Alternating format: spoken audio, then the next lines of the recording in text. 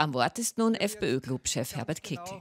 Zugehört. Das war jetzt das Führungspersonal der österreichischen Volkspartei und das war jetzt das Führungspersonal der Sozialdemokratie, das hier ans Rednerpult getreten ist, im Zusammenhang mit einer Frage, die ich durchaus als Schicksalsfrage auch bezeichnen möchte. Und ich muss Ihnen eines sagen, wenn ich das zusammenfasse, was ich jetzt gehört habe, wenn man das auf den Punkt bringt, dann kann man nur sagen, es ist eigentlich erschütternd und es ist bestürzend. Sie haben nichts kapiert von dem, was wesentlich ist. Da sind Sie beide aus dem gleichen falschen Holz geschnitzt. Sie haben nichts kapiert. Sie haben schlicht und ergreifend noch immer nicht verstanden, dass dann, wenn man die Probleme der Menschen in diesem Land lösen will, wenn man die Teuerung bekämpfen will, dass man dann an die Ursache, dass man dann an die Wurzel gehen muss und alles andere keinerlei Nachhaltigkeit erzeugt. Das ist der entscheidende Punkt. Das ist der entscheidende Punkt. Und diese Wurzel und dieser Kern, um den sich alles dreht, das sind diese Russland-Sanktionen. Das ist der Wirtschaftskrieg, in den Sie uns hineingeführt haben, Hand in Hand mit den anderen Parteien gegen die Stimmen der Freiheitlichen Partei. Sanktionen ein schönfärberisches Wort für einen Wirtschaftskrieg, der dazu führt, dass die Energiepreise nach oben gehen, im Übrigen dann noch angereichert durch ihren Klimafanatismus, durch die Verteufelung von allem, was fossil ist. Und über diese Explosion der Energiepreise, dort ziehen dann alle anderen Preise nach. Da wird dann das Essen teurer, da wird das Wohnen teurer, da werden die Verträge teurer und so weiter und so weiter. Und kein Ende in Sicht kein Ende in Sicht, sondern die Situation wird immer ärger. Und am Ende kommt dann auch noch der ORF daher. Müssten wir wahrscheinlich den Herrn Sobotka fragen, warum der jetzt noch mehr Geld braucht, möglicherweise aus Anerkennungsprämie dafür, dass man den öffentlich-rechtlichen Rundfunk umform, äh, umgebaut hat und um, äh, missbraucht hat, muss man in Wahrheit sagen, zu einem ÖVP-Bestellfernsehen. Ich sage Ihnen eines, ich sage Ihnen einfach, es ist schön und gut, es ist schön und gut, es ist schön und gut, wenn wir über Maßnahmen diskutieren, wo wir versuchen, die Teuerung zu lindern. Ja? Das ist ganz wichtig, dass wir das tun. Aber Sie müssen eines immer mitbedenken. Es wird überhaupt nichts bringen, wenn Sie nicht nachhaltig an die Ursache gehen. Es nutzt nichts, wenn Sie bei einem Wassereinbruch in einem Schiff das Wasser verteilen in den verschiedenen Kabinen, dem einen oder anderen eine Schwimmweste aushändigen, aber gleichzeitig das Leck nicht stopfen. Und das wissen alle Menschen da draußen, die wissen das. Nur Sie wissen das nicht, wenn ich mir Ihre Politik so ansehe. Der Schutz der eigenen Bevölkerung, das ist doch dasjenige, was die oberste Pflicht einer Bundesregierung und der politischen Parteien hier herinnen sein sollte. Warum tun Sie es dann nicht? Warum tun Sie es dann nicht, frage ich Sie. Das wäre die oberste Pflicht. Oder, Herr Bundeskanzler, wollen Sie uns heute ein Geheimnis verraten und uns erzählen, dass Sie eigentlich gar nicht mehr frei sind in Ihren Entscheidungen? Möglicherweise geht es Ihnen so wie den Deutschen, wo Sie gar nicht mehr das Heft in der Hand haben und wo dann andere darüber entscheiden, was Sie zu tun haben. Sie hätten heute und hier die Gelegenheit, auch dazu einmal Stellung zu nehmen. Und ich habe und in dem Zusammenhang auch ein Déjà-vu was die Corona-Politik betrifft, was damals die Corona-Maßnahmen gewesen sind, das ist jetzt das, was man unter dem Themenbereich Russland-Sanktionen zusammenfassen kann.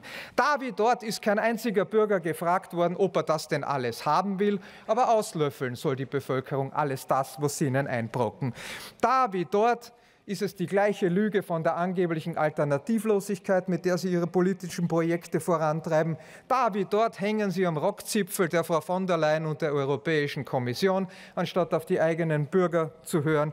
Da wie dort werden Milliarden ohne jede Nachhaltigkeit, die Sie im Übrigen gar nicht haben, das müssen Sie ja dazu sagen, verbrannt verbrannt, die wir, wenn wir sie hätten, in ganz anderen Bereichen brauchen würden. Und da wie dort werden all diejenigen, die eine andere Meinung haben, von ihnen beschimpft und verunglimpft. Das Vokabular hat sich heute ein wenig geändert. Herr Klubobmann-Kickel, ich hätte es am Ende Ihrer Rede gemacht, aber ich übergebe jetzt äh, den Vorsitz an den Präsidenten Hofer und erteile Ihnen für den Ausdruck die gleiche Lüge einen Ordnungsruf. Äh, Sie können jetzt in Ihrer Rede fortfahren und ich übergebe den Vorsitz. Da wie dort, und das ist der entscheidende Punkt, da wie dort erkennen die Menschen eines, dass wir Recht haben und sie Unrecht. und die Menschen erkennen, dass wir auf ihrer Seite stehen, dass wir die Interessen Österreichs vertreten und sie das gerade Gegenteil davon tun. Und ich frage mich, was das dann soll, wenn die Bevölkerung von der Spitze des Staates ausgerichtet bekommt, aus der Hofburg Zähne zusammenbeißen. Zähne zusammenbeißen. Meine Damen und Herren, das ist eine Verhöhnung der österreichischen Bevölkerung und Sie unterstützen das, anstatt den Bundespräsidenten entsprechend in die Schranken zu weisen.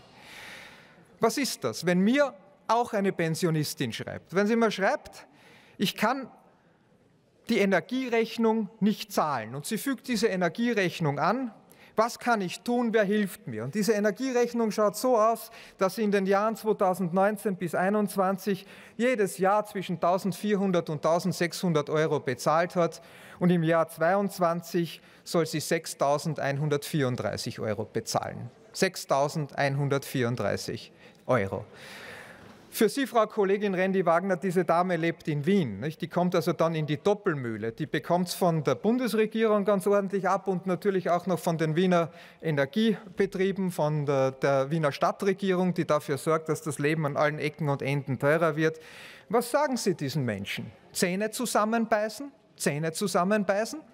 Wollen Sie diesen Menschen allen Ernstes erklären? Und das ist nur ein Beispiel von ganz vielen. Ja? Dass das, was hier passiert, im Interesse Österreichs ist? Das, was hier herauskommt, soll im Interesse Österreichs sein? Meine Damen und Herren, ich habe das Gefühl, Sie erkennen die Dramatik nicht und Sie erkennen die Dimension dieses Problems nicht, vor dem wir hier stehen. Glauben Sie wirklich, dass das im Interesse der österreichischen Bevölkerung ist, wenn Menschen mehrere Monatsmieten dafür bezahlen müssen, dass sie ihre Energiekosten abdecken? Nur dafür. Knapp über 1000 Euro Einkommen, 8000 Euro Forderung von den Energiebetrieben. Ist das in unserem Interesse? Ist das in unserem Interesse, wenn Leute tagsüber bei sich zu Hause in, im Schlaf Schlafsack sitzen, weil sie sich die Heizung nicht mehr leisten können. Ist das alles in unserem Interesse? Vielleicht verraten Sie mir mal, welches Kriegsziel Sie eigentlich in der Ukraine für Österreich verfolgen. Das? Das, was da herauskommt, es ist erbärmlich. Und ich habe das Gefühl, und ich sage Ihnen das ganz ehrlich, und das betrifft all die Parteien, die sich hier zusammengehängt haben, wieder mal zu einem Schulterschluss gegen die österreichische Bevölkerung, dass Ihnen die Herren Biden und Zelensky und wie die anderen korruptiven Kriegstreiber alle heißen, dass ihnen die viel, viel näher sind als die eigene Bevölkerung. Ich sage es in dieser Deutlichkeit. Und ich habe das Gefühl, dass ihnen die NATO-Mitgliedschaft der Ukraine viel, viel wichtiger ist als dass die Leute in Österreich sich das Wohnen leisten können, das Heizen leisten können, das Einkaufen leisten können und das Tanken leisten können. Sie sind am falschen Gleis unterwegs. Sie sind am falschen Gleis unterwegs. Und alle diese Teuerungsopfer, das sind ihre Opfer. Das sind ihre Opfer. Die Menschen zahlen nämlich nicht den Preis, wie sie es immer behaupten, für einen völkerrechtswidrigen Angriffskrieg, den Russland begonnen hat. Das ist ja das, was Sie immer behaupten, weil diese Kriege hat es immer gegeben und diese Kriege, die wird es leider immer geben.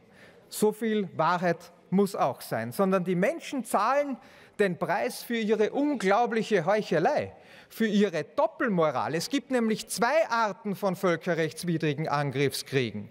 Da gibt es die bösen völkerrechtswidrigen Angriffskriege, das sind die, die die Russen führen. Und dann gibt es die guten völkerrechtswidrigen Angriffskriege, das sind die, die die an anderen führen. Die Amerikaner und die Türken und die Briten und wer da aller dazugehört. Und bei den schlechten völkerrechtswidrigen Angriffskriegen, dort ist es so, dass es natürlich alternativlos Sanktionen gibt und bei den guten völkerrechtswidrigen Angriffskriegen, dort ist es dann so, dass es selbstverständlich alternativlos keine Sanktionen gibt. Da gibt es dann den Friedensnobelpreis dafür. Und glauben Sie, dass die Leute das nicht bemerken? Glauben Sie, dass die Leute das nicht bemerken? Und dafür zahlen Sie den Preis. Beim Tanken, beim Supermarkt, bei der Energierechnung und jetzt auch bei den Mietkosten. Ja, ich weiß, das tut Ihnen weh, deswegen sage ich es Ihnen, ja, weil es ist halt manchmal schwierig, auch der Wahrheit dann ins Auge zu sehen. Ich sage Ihnen eines, ich sage Ihnen eines, Sie müssten in der Sekunde ein Veto gegen diesen Irrsinn einlegen und Sie müssten in der Sekunde aufhören, auch über die Hintertür diese Waffenlieferungen jetzt in die Ukraine zu finanzieren. Österreich finanziert das alles mit über die Hintertür der Europäischen Union. Ich fürchte, dass Sie dazu nicht die Kraft haben, dass Ihnen die Einsicht fehlt, dass Sie das alles einfach kalt lässt oder dass Sie vielleicht, und Sie können es ja heute sagen, nicht mehr frei sind in Ihren Entscheidungen, Herr Bundeskanzler. Den Preis dafür, den werden Sie jedes, jedenfalls zum ersten Mal bereits am kommenden Sonntag zu zahlen haben. Herbert Kickl, FPÖ-Clubobmann, war das mit dem ersten Ordnungsruf im neu sanierten Hohen Haus. Die Regierung handle nicht im Interesse der Österreicherinnen und Österreicher. Die Menschen können sich das Heizen nicht mehr leisten, so Kickel. Und er kritisiert einmal mehr die Sanktionen gegen Russland. Die FPÖ fordert ja in jeder Sitzung das Ende der Sanktionspolitik.